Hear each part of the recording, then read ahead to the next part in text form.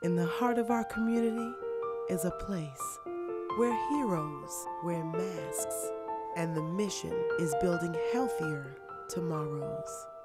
Where help is always around the corner, and no challenge is too big for the well being of your family.